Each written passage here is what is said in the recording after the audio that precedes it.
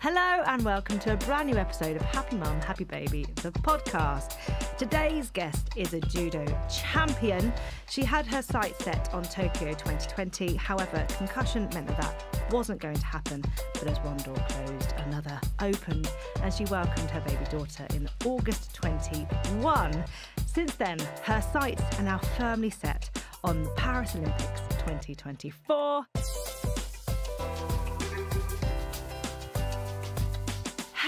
Nekoda Smythe Davis. Hi. Hi, how are you? Thank you for having me. I mean, it's been. I, I know that your life, like you, you speak so well about the fact that your life is in these like four year cycles, and to have one cycle kind of not happen Hmm. how you thought it would, Yeah. like it must feel like. I th- do you set out at the start of a, a like of as an athlete? Do you start thinking ahead and kind of going, "This is what life's going to be like"? yeah. You plan everything Really? ridiculously. Um, down to the point I knew when I would try and have my first baby. Yeah, Um, you know where I'm going to live. Everything you plan everything out. Um, you even plan when your holidays are going to be because, you know, like my family live in Jamaica, and I'm kind of like, well, it needs to be a big holiday, so really that needs to be after the games. So then you know I'm going to wait four years and I'm going to go then. So everything is planned out, and I had everything planned out for after Tokyo. That was when I was going to retire. That was when I wanted to start my family, and yeah, nothing went to plan. yeah. well, I guess let's go back to that to to your concussion. I guess like how far out of Tokyo did you know that that wasn't going to be happening? Um, so the concussion was end of 2019, and original Tokyo Games was uh, summer 2020. So I did actually that's get, like three and a half years. Of Yeah. being focused towards that. of course, and I'd just gone straight from the Rio cycle as well. Yeah. So really, it was seven and you know seven and a half years Yeah. of work towards a games that I knew I could peak at. Yeah. I was going to be 27 in my prime, and in that cycle, in those three years, I'd won two world medals. Yeah. so kind of already up there with with all the best in the world um and i kind of got to the point where i'd got back at the start of 2020 uh, it was a slow return to play. It probably took me about two three months. Mm. and that's a little bit slow for a regular concussion. Regular Right. concus- concussions two weeks and you're kind of back. So we took it slow. And as i was just getting back into things the the pandemic happened.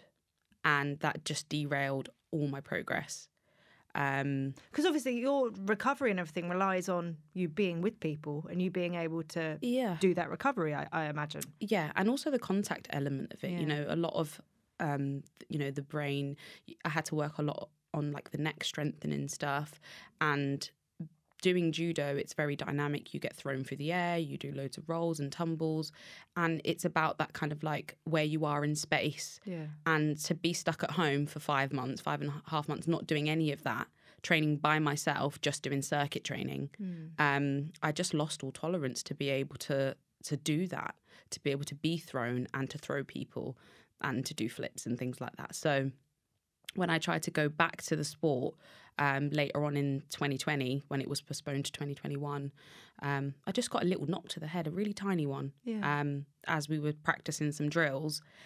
And I was unwell for about three months after that, really unwell. Like I, I could barely go for walks with the dog. I just had to be in like darkness, in quiet. Um, I was suffering with migraines every day, and it, life was miserable. Life Yeah. was really miserable, and I just thought if this is what could potentially happen again, if I tried to push on to the games, I'm not sure it's worth it. I'm not sure I could do it mentally. It was so tough. Oh, it sounds horrible. Yeah.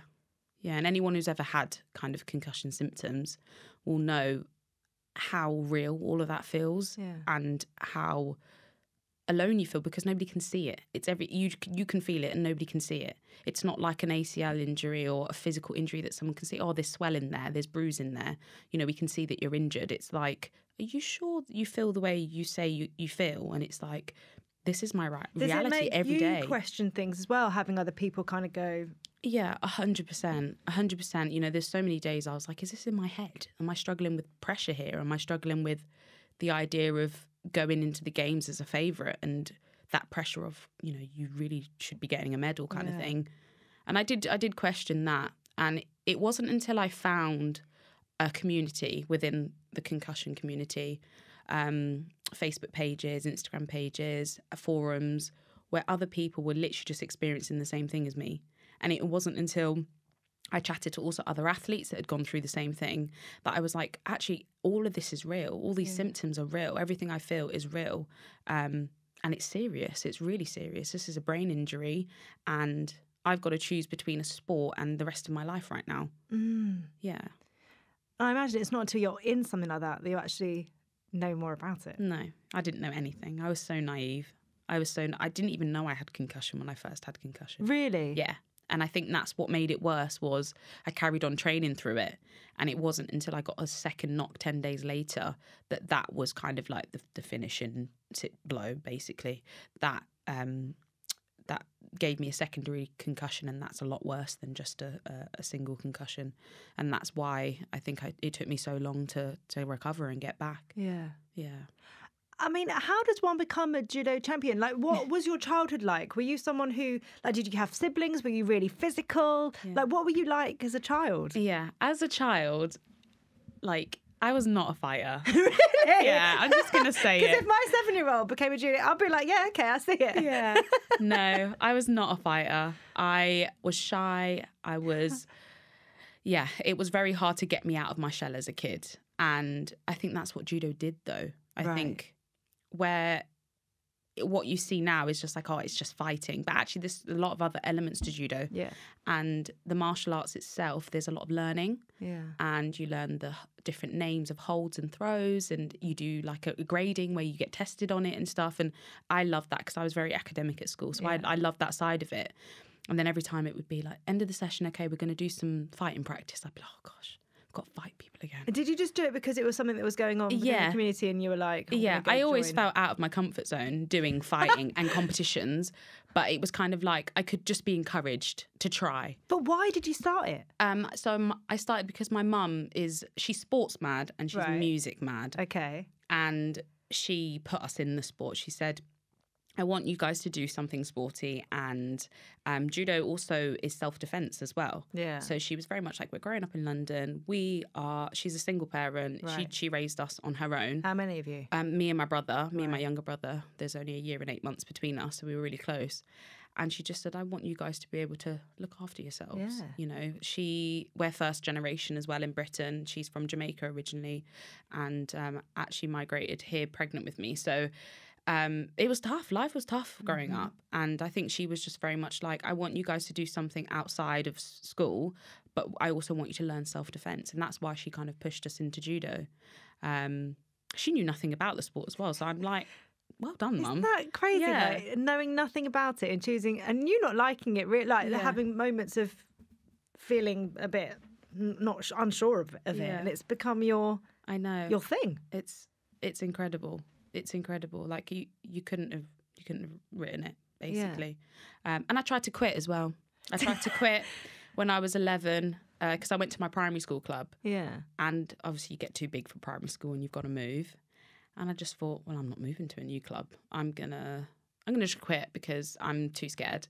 And my mum was like, well, why don't you just try and get your black belt? That's a nice goal. Then you know, it was never Olympics or anything like that. Yeah. It was just And also, I, I wonder if when you're a kid, for some people, like the Olympics was, I I mean, I'm not a sporty person, but the Olympics wasn't something that was chucked about as if, like, no if you do this, you could go and do that. No, I didn't even make the connection that my sport was even an Olympic sport. I mean, my mum's sports mad, so we watched Olympics on the TV growing up, but I didn't make that connection. It Yeah. probably I didn't make that connection probably till I was about eighteen. Really? Yeah, that the Olympics was even something that I could consider. And then I guess that dream didn't really spark until the London Olympics because I volunteered there and I was 19 at the time. And it was only then that I was like, I think I want to try. so I didn't have that dream from a, a young kid. Yeah. A lot of a lot of sports people do. They say, "Yeah, I had that dream when I was younger. You know, that's the person I wanted to be." I didn't have that. Yeah. I think m- mostly because I just didn't think I could have that. I think growing up like poor and not having, lo- I wanted to do loads as a kid, but kind of the judo was one of the cheapest sports as well at the time. So my mum put us in judo, and it was kind of like we struggled even there. You know, people would give us their hand me down kits, and sometimes our teachers would waive fees or pay for competitions for us. You know, they I guess they really saw something in us and wanted to help. Yeah. And without all that, I genuinely wouldn't be here today doing what I'm doing. So, yeah, I'm so grateful that I had those amazing people around me and that my mum was kind of like, go, go for your black belt. Just keep pushing on. Don't just give up. And what happened when you got your black belt? Um, so I was 15 when I got my black belt.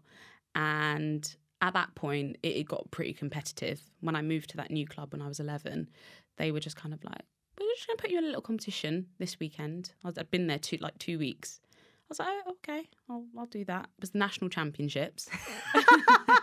I took a bronze medal. I didn't even know that I had done that. And uh, they just was like, she's good. She's good and we're going to nurture it. And yeah, again, if it weren't for those coaches, I genuinely wouldn't be here today. Oh my god! Yeah. And you say that you're academic. Yeah. So were you? Uh, did your academic studies like? Did you have something in mind that you wanted to do from that rather than judo or not? Yeah. So I was like, I, I always wanted to be a doctor growing up. And I wanted to work with kids and I wanted to help people. And that's kind of when I went to college, those are, you know, I picked sciencey subjects and maths and I went down that route because, again, I didn't have that Olympic dream. That Yeah. wasn't in my mind. Yeah. I was just going to kind of use my brain because that's what I was good at. Um, and it, things probably started ramping up during college, those two years of college. And I guess that last year of college, I spent a lot of time out, out traveling with the junior team. Um, and again, my school was amazing. They'd give me like packs of work to go away with for a week or two. Um, so I could work while I was away training on camps. And But stuff. that's also you being amazing because I imagine for a lot of kids that would be like, that is staying in the wrapper. Yeah. you know what I mean? Yeah, yeah, I guess so. Yeah, I guess so. I guess I was very much like I wanted to achieve in both if I could. Um, but it was tough. I'm not going to lie, it was tough. Um, and I and I guess towards the end of college, I was very much like I need a break from education if I'm going to do judo seriously. I, Yeah. I knew at that point I couldn't do both. Um, and then things just really picked up for me quite quickly after that.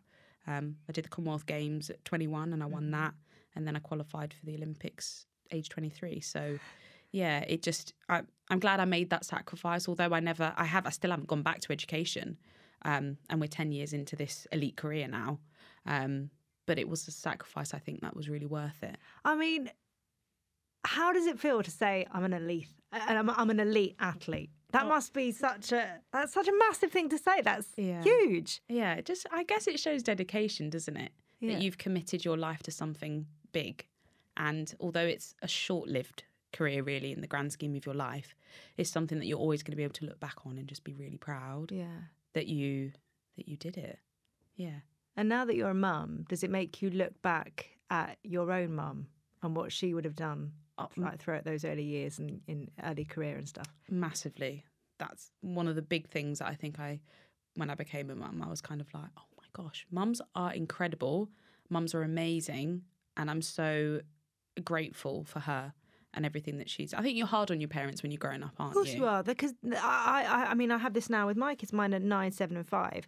You are their comfort place. You know, you are the space that whatever happens, they have you. Yeah. They can treat you however they like. They ha- and it's Mm. because they feel safe. Yeah, yeah, and I and I do. I think I was hard work sometimes, and I look back now, and I mean, I'm one of six, so we've got Wow. yeah, one of six.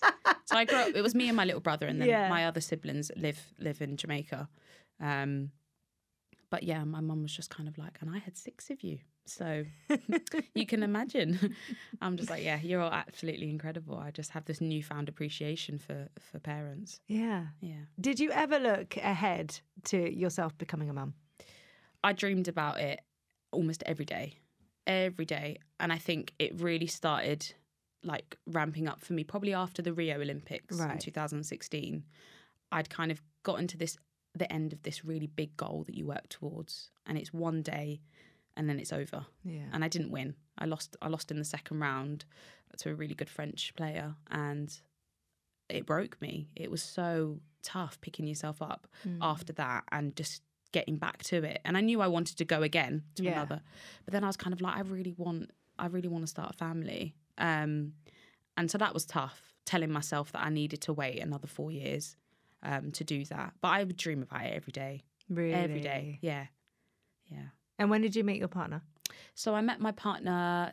We've been together about four years now. Right. Um, so that was towards the back end of the Tokyo cycle. Right. Um, so yeah, it was kind of like so I do this crazy sport where I basically travel a lot, and I'm trying to go to the Olympics next year. Are you are you okay with that? Because he's not a judo guy, Right. um, and that's kind of like first time for me, Is like he dating is someone outside of the sport. Does he? Is he sporty? Does he do he loves sport? he loves football, Right, loves okay. sport, um, but not That's not his. it's not his job. Yeah, no. yeah, yeah. Um, and it was kind of refreshing, and he completely understood it. He was completely like, "No, I'm here. I support you." And and you know things. but you're a bit like, so I need to have a baby now. yeah, literally, literally. He was so good because we'd met, and then I got my concussion not long after that. Right. And then obviously, I think I did two competitions while I was with him, and then that was that. So I guess he didn't get that full experience, but then the pandemic happened, and Yeah. you know, it kind of sped things up. And we just had that conversation when I made the decision to not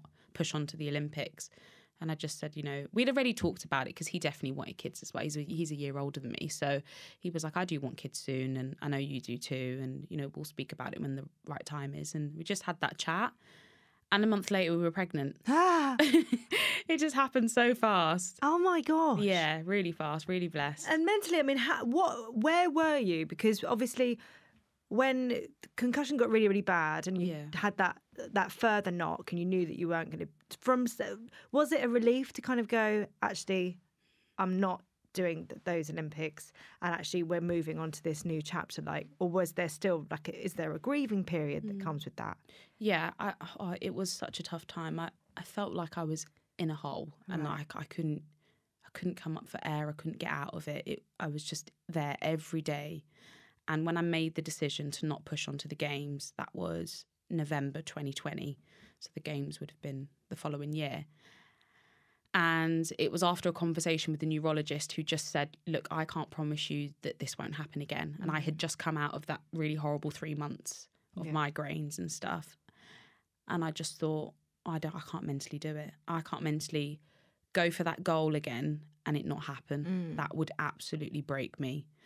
And I made that decision, and the, the the weight was just lifted off my shoulders. I could breathe again, and I the way I sort of made peace with it because there was a grieving period, but people were disappointed and they were going to be. They had Because the thing you're having to manage other people's yeah, yeah, emotions and stuff. they had put obviously everything into me going to the games, whether it was British Judo or Team GB or Yeah. my coaches, family.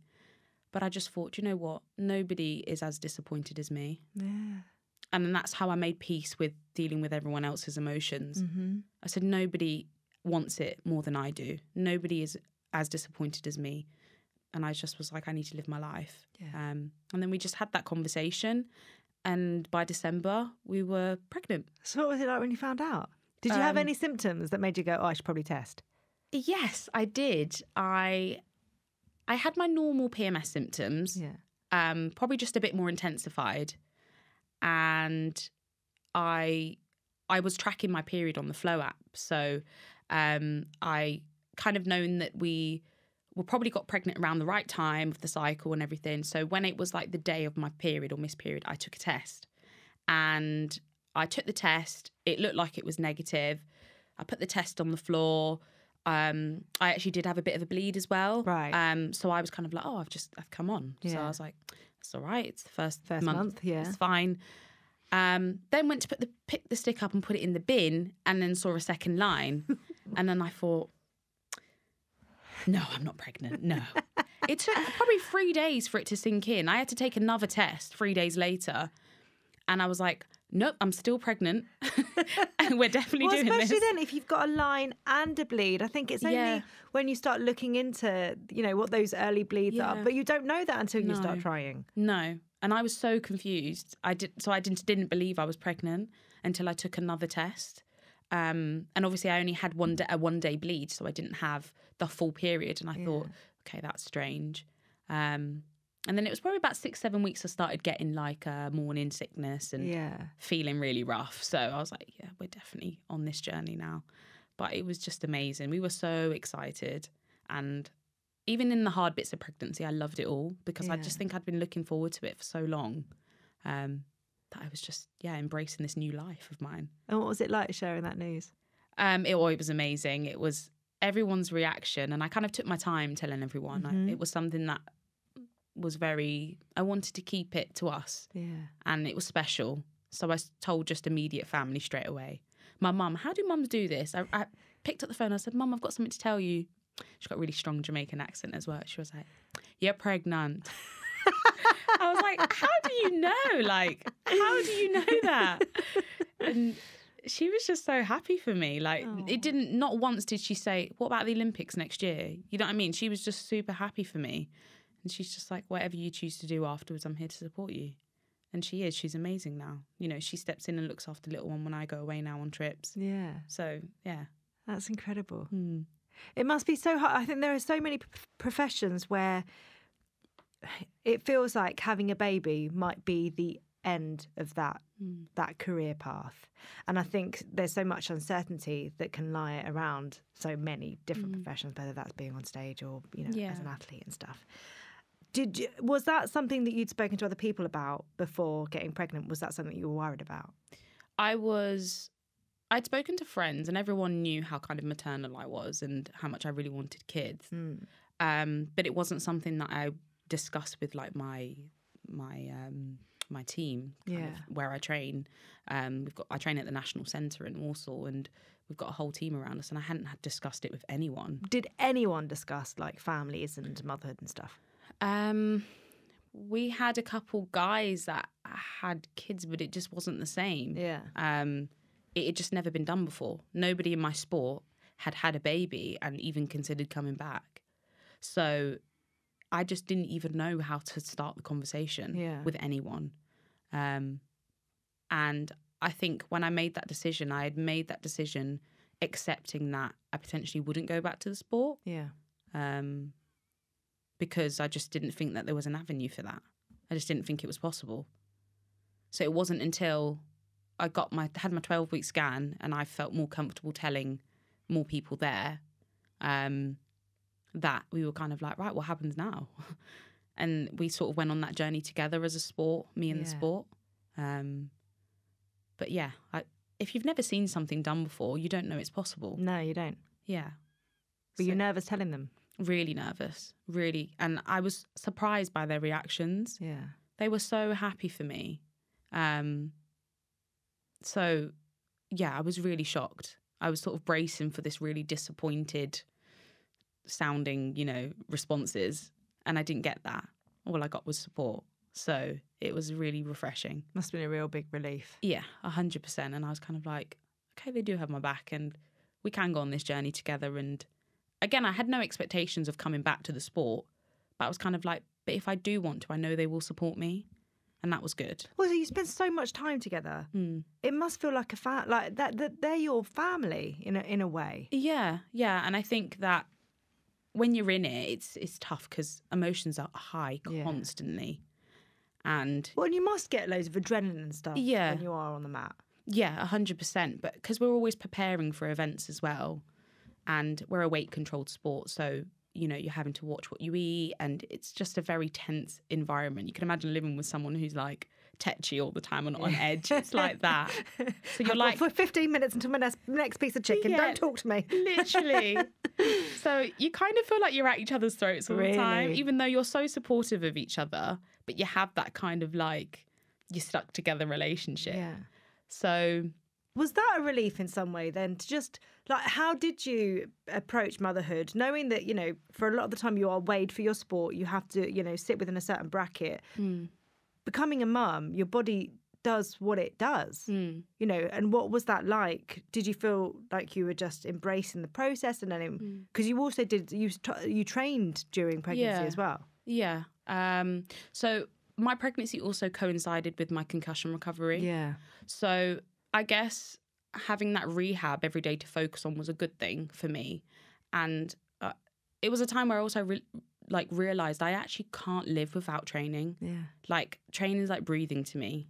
So for me, it just gave me something to do every day. yeah Um, while I couldn't be on the mat and actually doing full contact, I could be in the gym and I could be doing, you know, circuits and I could be doing other stuff. So it was, I just tried to embrace it as much as possible because I'd kind of let go of that goal. Mm-hmm. And that's that's all I've ever had in judo a goal, something to work towards, something to aim for. And because I didn't have that anymore, I could just find a new version of myself that I'd never seen before. yeah. And that was amazing because I just tried to embrace every moment. I'd read up about how big the baby was each week and I'd take weekly pi- pi- weekly pictures and people were probably sick of me being like, gosh, Nekoda's constantly sending me bump, bump pics and stuff.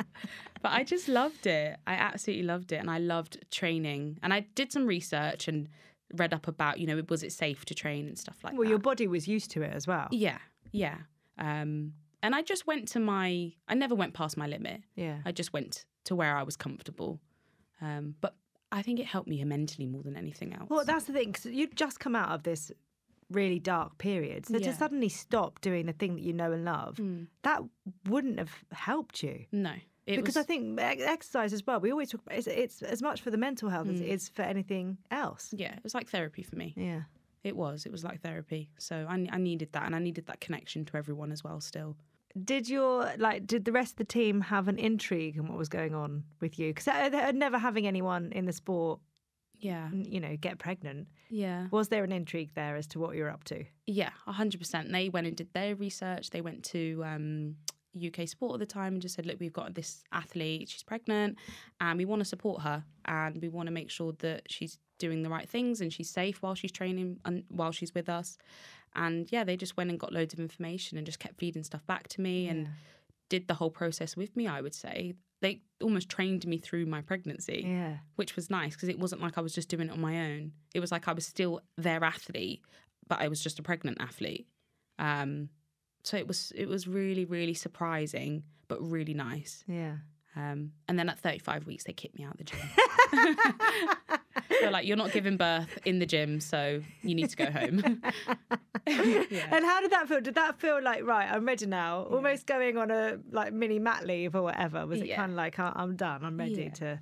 yeah, I just got full nesting mode and just was home for a few weeks. And I mean, at that point, she was really heavy, so it was sort of good. I could just put my feet up a bit, and uh, I could. Did you allow yourself to do that? Yeah, I couldn't do much in the gym at that point anyway. She was, um, I'm quite small framed, and she was, she was big. She was big, and I was carrying a lot of water as well. So, um, yeah, it was nice to to put my feet up, nest a bit, get ready for her arrival, and just wait. Really, it felt like the longest four weeks of my life. Yeah. Them last four weeks. Well, how did you feel though heading towards like the birth? Because you you don't know what's going to happen. Yeah. Um, I, and this might be a bit weird, but I try to treat it as Olympic Day. So I. Well, people do say Yeah. like I don't know, there's a hypnobirthing and stuff, and they said treat it like it's a marathon. Yeah, yeah. And I just, because I'd done the Olympics before and I knew what that felt like, Yeah. I was kind of like, this is my Olympic day. And I said, the difference is I'm going to leave with my prize this time. I didn't get a medal last time, but I will this time. And it's going to be one of the hardest days of my life, but it's going to be so rewarding. And I just try to prepare for it in that way. So I did hypnobirthing and I try to educate myself as much as possible Yeah. Um, because I'm very much of just be as prepared as you can be, and it might not go to plan, but at least you'll not have the fear of not knowing what might happen. Yeah. Um, so I wanted to eliminate that fear and just going kind of with the idea of this could go anyway, but I'm ready for it. Yeah. And uh, yeah, so I was excited, really excited, a little bit nervous, but excited. Yeah. Yeah. And when the day arrived, how did you know? What was the first signs? Um, my waters broke at 5 a.m. I'd had like practice contractions, Braxton, Braxton Hicks contractions all week, and my dog was on pins all week. it was almost annoying. Really? Yeah. She just literally, she got these big floppy ears, and she'd just like make her eyebrows look really sad, and she'd just stare at me all week. and I'm having all these practice contractions. She must have just- just been so in tune with what was going on. Like the dogs have this intuition. Oh my gosh, it's amazing. I never believed it before until until then. She knew that that Ryia was coming, um, and she was so concerned. And I was in and out of hospital that week being monitored Yeah. just because I was on like quite a, on the bigger side. Um, my belly was on the bigger side, so they were just making sure I was okay. Um, and then my waters broke on bank holiday weekend, on um, which I know the hospitals weren't that happy about that. They were like, "Will you will you come in and be induced um, on the Friday?" And I was like, "No, my baby will come when my baby's ready." Yeah. And yeah, my waters broke on the. Were you 39 weeks at this point? I was thir- I was forty and one. Ah, So okay. I literally one day after my Right. due date, Yeah. and I'd had the induction booked in for the following week Right. on the Tuesday. But Ryia was right on time. She was like, "Nope, I know when I'm coming." And yeah, waters broke at five. Did that wake you up? Yes, yeah, yeah. And it was weird because that night I didn't have any contractions. Yeah. That was the most relaxed my belly had been um, in that last week. And I was kind of like, oh gosh, it's not going to happen then. Nothing, she's not moving, nothing's happening. Yeah. And then, yeah, her waters broke, and I was like, oh, let's go. And I was so excited. I was literally jumping around, like, yeah, gonna meet my baby. I was so excited. Um, and then I didn't have any contractions for probably a couple hours Right. but we went to the hospital anyway because they'd sort of moved me up a bit more high risk and we just waited and then yeah those started more just like period pains Yeah. and then it started getting serious It's that funny thing when it starts, you're like, oh, I'm okay. yeah. and then it's like, oh. i was like why did nobody tell me this is hard and uh, just did everything we practiced and yeah and Were you surprised at how, like, how did the hypnobirthing affect that process? I think for that for those initial stages of labour, um, kind of up until you're in active labour, amazing. I think, yeah, helped me get through that without pretty much anything. Yeah. So I just was doing my surge dances and listening to my tracks and yeah, that really got me through. But then once it kind of hit active labour, I was just kind of like, get this baby out Really? now. I don't care about hypnobirthing. I don't care about anything. I'm done, okay? But it's so good that you're able to listen to yourself in those moments. You know what I mean? Because I think sometimes people get so caught up in like, no, this is the plan, and I want to stick to the plan. And actually, the plan for me, I always think should be, this is the plan for now, Yeah. and we'll see how we go. Yeah, I just kept being like to midwife, have you come back with my drugs yet? Because I need them now. yeah. And then, um, yeah, I got moved up to delivery and I think we were in there a couple hours and it was, it was uh, complicated because, yeah, I can't really remember, but I think she was just having trouble coming down and- Right. and coming out. So I needed a bit of assistance and a bit of help. Um, and I was begging for an epidural at this point. I was like, just give it to me. And my partner was like, I was just reading the, the thing to you really slowly because I didn't I didn't want you to have it, and I know you didn't want to have it. And then yeah, he just said, you know, you're about nine ten cen- centimeters. It's a bit too late now. I think we're gonna get ready for baby to come, and then you just get that urge to push, then don't you? Yeah. And I was like, they weren't ready, and I was like, I'm pushing because she's coming, and yeah, and yeah, a bit of assistance, and and she was here. That's amazing. amazing. So no time for the epidural anyway. No, no time for that. Just had to just go for it. but it's amazing because I, you know, I sort of everything I'd read. I knew at that point when it was time because your body just tells you when it's time to push, when it's time to go, and baby's coming. And um, you know, I'm grateful that I kind of had all the hands on deck because cord was around her neck, and that's what was restricting her a bit, and um, I needed a bit of assistance. So it, it was really good. But I'm just happy, you know, she came safely, and I really wanted to have a natural birth. I wasn't against having a different type of birth, Yeah. but I think selfishly for my own recovery for judo and going back to the sport, Mm-hmm. I I wanted to have one natural so I could get back quicker. Yeah. I guess. Um, but obviously, in that moment, I would have gone with any, with anything. Yeah. I'd have been like, "Do what you need to do." Yeah. Yeah. Yeah. I'll sort it out later. Yeah, but I was I was happy. I was proud of myself at the end. I, I wonder if because in, in like being an athlete, you're so aware of your body and what it can do, and and you would like you, you know, you might lift a certain weight or whatever that is, in your um uh, in your training and stuff. What is it like to see your body that you know so well through your training do something completely different? it's so it's so alien. That's the way I would describe it. It's so alien, and people are like, "Oh, surely it should have been a bit easier for you," or, and I think maybe mentally, when you train, you do go to another place, Yeah. and we always laugh at ourselves and say that people that train the way we do might be a little bit crazy because it hurts, Right. but you sort of like it. Like, I'm in pain, but I love it. Um, so I guess I could tap into that a little bit more Mm. And remind myself to just get through each contraction. But actually, being so strong in your core is not necessarily the best thing for for pushing out a baby. Yeah. So I try to do a lot of work on relaxing my pelvic floor and um, you know really trying not to go against my body during birth. But I think in the moment, I think I just tensed. That's what you do. Yeah. Um, so yeah, Well, that's the fear element. yeah, it, it is. It is. So I think there's pros and cons. Yeah. Um, but it was completely alien to watch my body go through uh, all of it. Yeah. And then postpartum as well, completely alien. Just everything about it was alien. Well, what firstly, what was it like meeting Ryia for the first time? Oh my gosh, I just I remember thinking, "Oh my god, she's so pale." So my yeah. So she's she's mixed race, you know, I'm Jamaican heritage and my partner's white British. So she came out and I I just expected a mini me to pop out. I don't know Yeah. what I was expecting, but I just I was like, "Oh my god, she's so pale." And I kept going, "Are you sure she's mine? Are you sure she's mine?" But "Yeah, I saw her come out. She's definitely yours."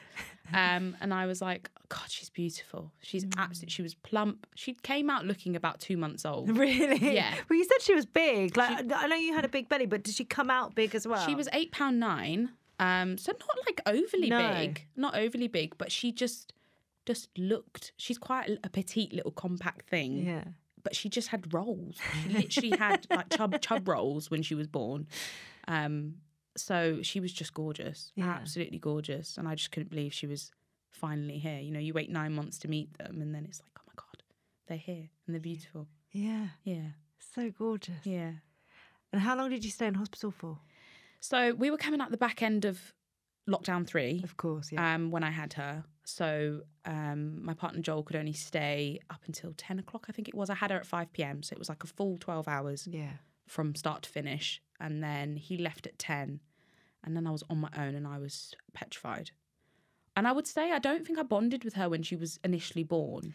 And this is the thing, like we, we speak about this a lot on the podcast because I think because of the films, because of there's so much dialogue out there, Mm. you know, my world was complete. There was an instant bond. You know, there's so much pressure on that moment to something for something to happen. Yeah. And actually, for a lot of people, it doesn't happen. No, I just wanted to sleep afterwards. I just Joel took baby, and I just remember being in and out of sleep for a bit, and it wasn't that kind of euphoric moment of oh my god, my baby's here. But when he left, and it was just me and her, and I remember saying to the midwives, uh, "Are you gonna help, or are you gonna be here?" Or they said, "We'll be here if you need us, but you know, we'll pretty much just leave you to it." And I, I was so like scared. I was like, "Oh my god, I'm gonna have to look after her And also, by what myself." do you do? Because I know. like you know, you, you've it's like you said, it was an Olympic day, so that was your you're treating it like it's an Olympic day. You've won your medal, Yeah. but so many of us don't think beyond that No. point. No, and there's this don't. baby that is like a you know little alien to you, really. Yeah. And you don't know if like, I can remember feeling like, am I allowed to pick them up? Yeah. Like, is someone going to come in and tell me off if I do that? Like, you don't know. Yeah, it was really scary. But do you know what? I think I really needed that night. Yeah. Um, just me and her. And by the morning, like obsessed. Did you actually manage to get some sleep? Yeah, I, yeah, I think I did. So I tried breastfeeding. We had loads of breastfeeding problems, and it was got to about eleven p.m. and she'd been screaming on and off since she was born. She was just hungry. Yeah. Um, she was a very greedy baby. So I was just kind of like, can I have some formula? At first, they were like, well, why don't you keep trying on the breast and stuff? Can I have some formula? She's really hungry and she won't stop crying. I'm really tired.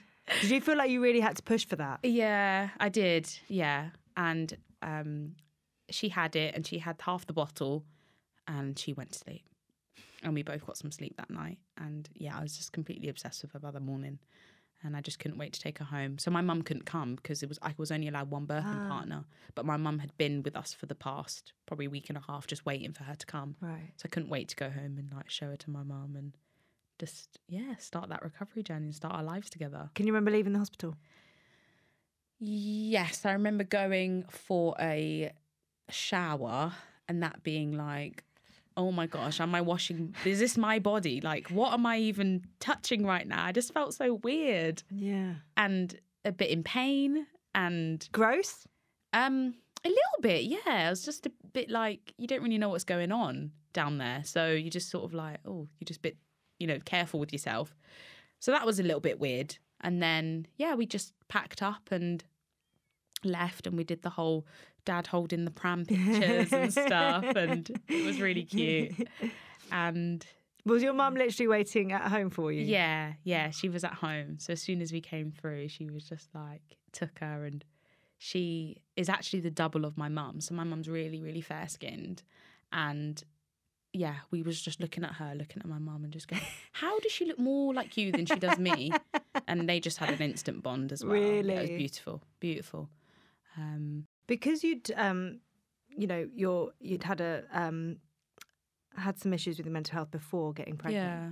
was that something that was looked after or that you'd had any focus on for what also perinatally and postnatally was Uh, it something you were like looking for signs of Um, I'd read a little bit about postnatal depression, and also I had a friend who'd had a baby similar time as me who did have postnatal depression, and I'm very self-aware, so I was very much like, obviously, if I'm struggling, I'll talk, and if I'm struggling, I'll seek help. Um, and I was aware of it, but thankfully, I didn't go through didn't Mhm. go through postnatal depression. Um, yeah, I think, but I think being aware of it was very important because I think my friend who went through it wasn't aware and actually never had mental health issues before that. yeah That was her first experience. do you think that you because you've been through it and you have asked for help before Yeah, that it almost took that stigma away from it as Oh, well a hundred percent. because that's a massive part of it isn't it i think when you're in it those the conversations in your head not there's voices in your head but the conversations that you have with Mm. yourself are that no one else will understand like Mm. it's so, like it tells you lies Mm, to feed itself essentially hundred percent. but once you've done it once where you've kind of gone to someone and gone i'm struggling that Mm. stuff's going on i wonder if that kind of take alleviates the pressure of that as well Mm. Yeah, I think a hundred percent. Mm. a hundred, and I'm just I'm good at talking now, and I just talk things through, and I have such amazing women around me, like probably two most special women in my life, my mum, and then also my judo coach, who I've been with since I was 11, and she's got four kids, right. And I mean she literally had them like she was pregnant for like five years. And had four kids, and her kids are amazing, and I look up to her a lot because she has always been a judo coach, so she's always travelled, even from when the kids were really young, yeah. um, and spent time away from them and stuff. So, if ever I had any questions or any thoughts, I'd just ask. Yeah. I just ask those people, and they'd reassure me um, that it's normal. yeah It's normal to feel the way you feel. yeah Um, and I think with a newborn, every day is just different, isn't it? And you don't know what to expect. And I think in some ways they keep you going as Mm. well. Um, even if you are down, you are struggling with postnatal depression. I know one of the things my friend just kept saying is she keeps me going. Yeah. I know I have to show up for her. I know I've got to be good for her. And she gives me strength. So, yeah, I definitely would say that Rye also gave me strength as well, just to keep going. Yeah. Yeah. And it's a massive life change, I Mm. think, when you've got that responsibility suddenly. Mm, So it can feel overwhelming, mm, you know, even if it's it, like, because there's so many different things that you can be feeling mentally Mm. that isn't post like post Yeah. like postnatal depression, and it can be a really scary time because of that. mm, for sure. Physically, how did you feel after birth? I had this image that I was just going to bounce back because I was an athlete, and I'd had I've always been very toned, and it was not like that at all. Um, I would say first six weeks, um, I expressed because I couldn't. She couldn't latch straight away, so I just would pump and express for her and feed her through the bottle, and she'd latch when she'd want to latch until we got that sorted.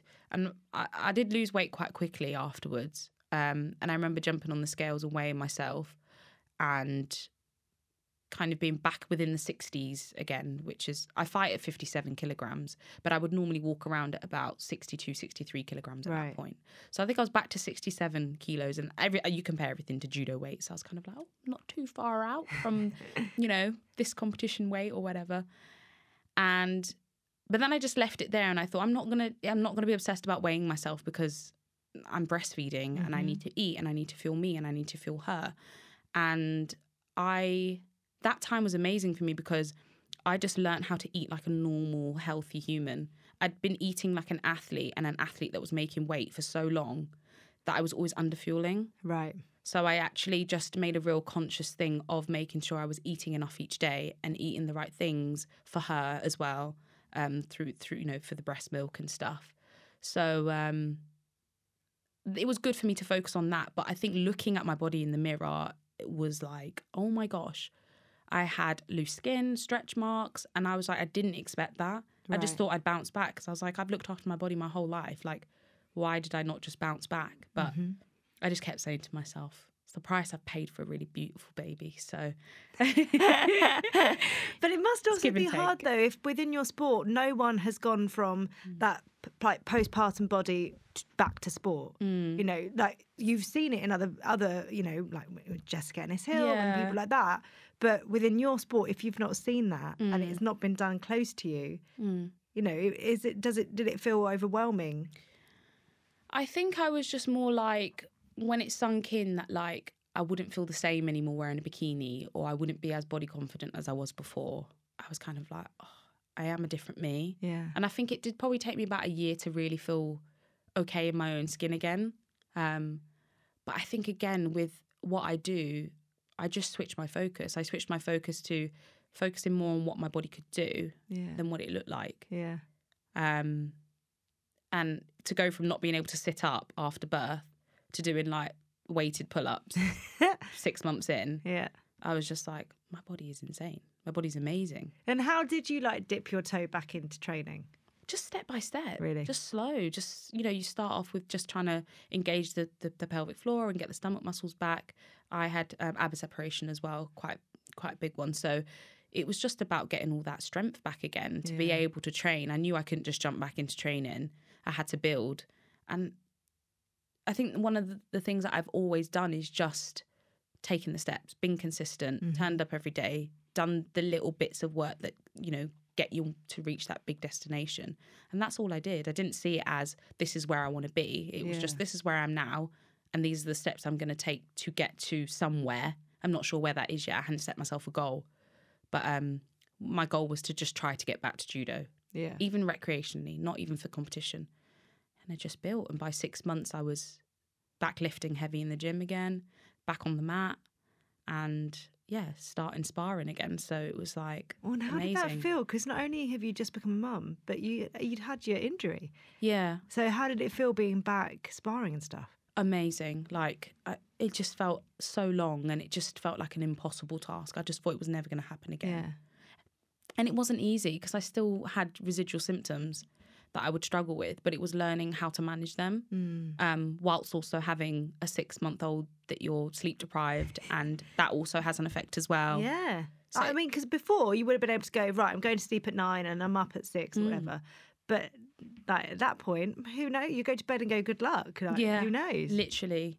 So it was respecting both. It was respecting the concussion and how that's completely changed my life and I will never be the same again. And then respecting being a mother and knowing that, look, first and foremost, I need to be what I need to be for my child mm. first. So it was respecting both. And there'd be some days where I could only train three days a week or four days a week. And there'd be sessions planned in. But if I would wake up and I'd only slept two hours, I wouldn't go into training Really? or I would say I can come in a bit later Yeah. when I've rested a bit. Or and they were so good at being flexible with me as well. And for those first six months, I they like they let me treat it like maternity, so I didn't have to step a foot in the building if I didn't want to, Right. but I wanted to. Yeah. So from eight weeks, I was back in just routine for me, um, and it gave me a few hours break every day. Um, so I was going three, four, three days a week at first, and then I built it up to four, and then to five. Yeah. But even if I was only away for two hours, it was a nice little break. Yeah. Yeah. Yeah. Um, and also, I on me. imagine to feel like you again. Yeah. Like this is what I do. Yeah. And I needed that. Yeah. I really needed that. And you know, you get the difference of opinions with different mums, stay at home mums and mums that work and you know, and it's like, oh, I don't know how you do that. And I was just honest with myself. I was like, I can't be a good mom if I don't have this. Yeah. If I don't have these couple hours, I need them. I need them to be able to go back and be the best mom that I can be. Yeah. So I just accepted that quite early on that I'm going to be one of them mums.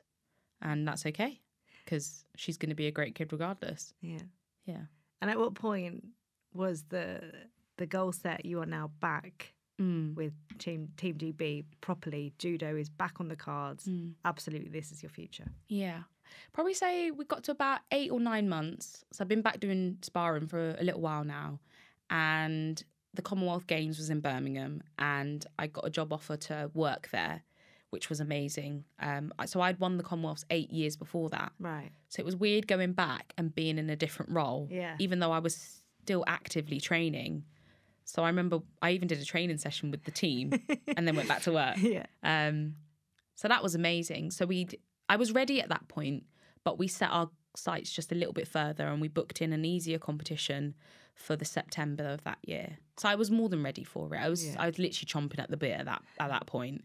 And then Ryad had just had her first birthday, so I'd been with her pretty much for that whole year.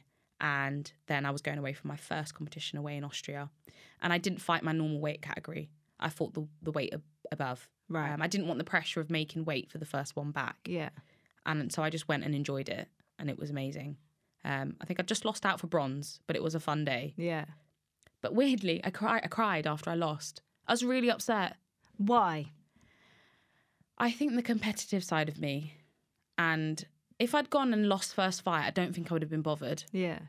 But because I'd won some fights and I'd gotten to the final block and then lost for a medal, it hurt. I was like, okay, the competitive edge is still there. And then the following week, so literally a week after, I fought at my regular weight category back at 57s, which was huge, making it after three years. Mm. And I won gold. and that was insane. And it was so, it was like a I'm back moment. Yeah. Well, and how does it feel now, knowing that when you know when you were thinking about becoming a mum, there was no one in the sport to to show you how it could be done. Whereas now, for other people, you are that person. Yeah, I think there's literally you just have to roll with it a little bit, and uh, we find that we just stumble across problems and then we have to problem solve. Yeah. So after those competitions, I w- I then did my first Olympic qualifier, and I got to the competition. I've got a new coach, by the way, as well. So that you know, so many changes Yeah. there. And I won the first fight, and when I came off, he was like, oh, "Just don't think you fought very well in that one."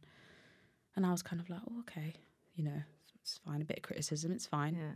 Second fight, I won that one. It was a bit of a slog. And he said, Oh, you just made that girl look really good.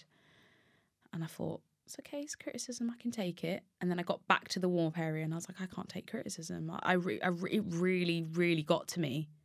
And I just felt like I was wanting to retreat and I didn't want to be there. Really. Yeah.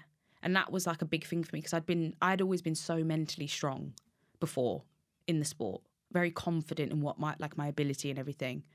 And suddenly I'm back and I'm winning fights, but then there's that criticism there. And I was just kind of like, I'm not confident. I'm not as confident as I used to be. And then that's been, that's been our biggest challenge. Really? My, confidence.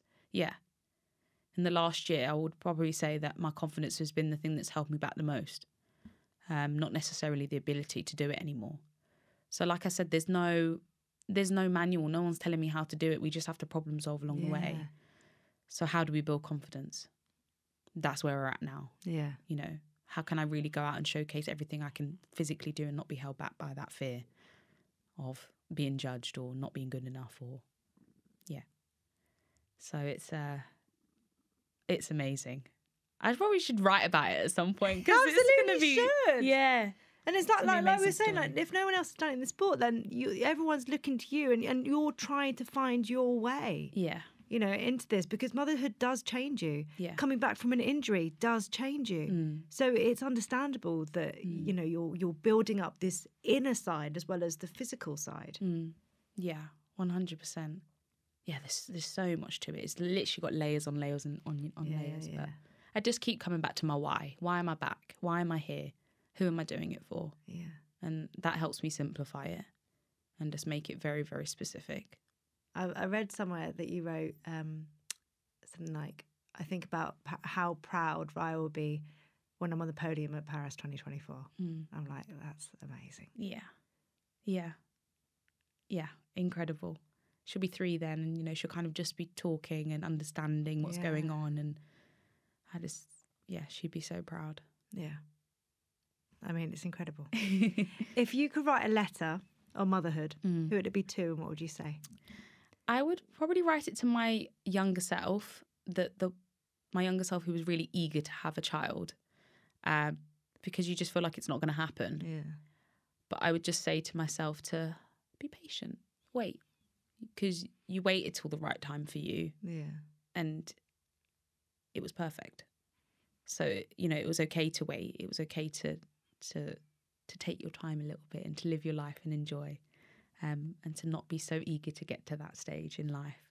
Um, so yeah, I'd say that to myself. I think Yeah. looking back, and um, just to go into it with no expectation. I think because I went in like I'm going to be this type of mum. I'm going to do this, and and you know what? You just got to roll with it. Well, and also like the juggle because uh, you know I've read stuff that you've said before where you were like motherhood was going to be something that that that, that happened after retirement when you mm. were in retirement. That is when Yeah, you know that's when that would and that would be something that you could really focus on then away from mm. the sport. Whereas now mm. you are juggling the two. yeah, You know, you're going on training camps and you're investing in that, but you've still got the weight of what's going on at home, and Yeah. you know, so you it, it is the in the thick of the the juggle, the guilt that comes with that. That's so unnecessary, but it's a thing that mums go through. Um, you know, so I think it's all it's all learning, and it's not. It's understandable that it looks different to what you Yeah. thought it would. yeah, yeah. It is. And would I have waited longer? I don't think. No, Really? no. I think that it was always part of my plan, and I think my plan was the right plan. What wasn't part of my plan was coming back. um, And how does that feel Yeah. now? Because I, I I imagine as well, it must have felt like such unfinished business. Yeah, hundred percent, hundred percent. And but it's a weird one because it's like, are you back to prove something to other people or yourself, or are you back because you just love what you do? And I think I'm back because I just love what I do. That's what I'm getting from talking to you. Yeah, I don't feel like I have anything to prove. If I finished today, I'd be happy with my career. Yeah.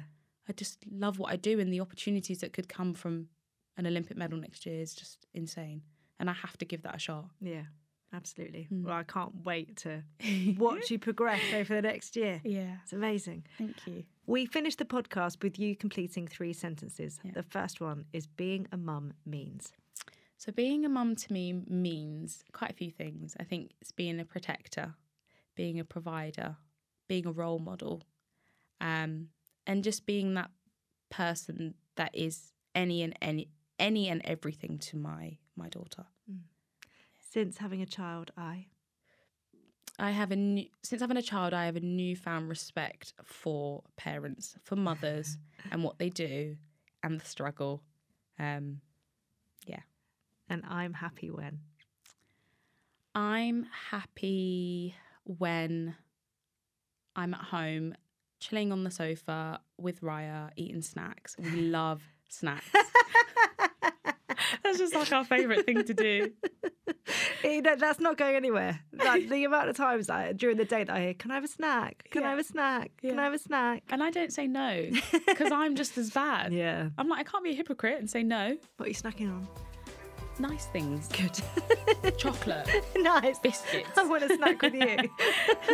Definitely. I like those things. Thank you so much. It's been an absolute pleasure oh. to, to hear all about your experience and your journey to get to this point. And I, like I said, I can't wait to see what happens next year. Thank you. You so much. It was literally an honour to be here. Thank you.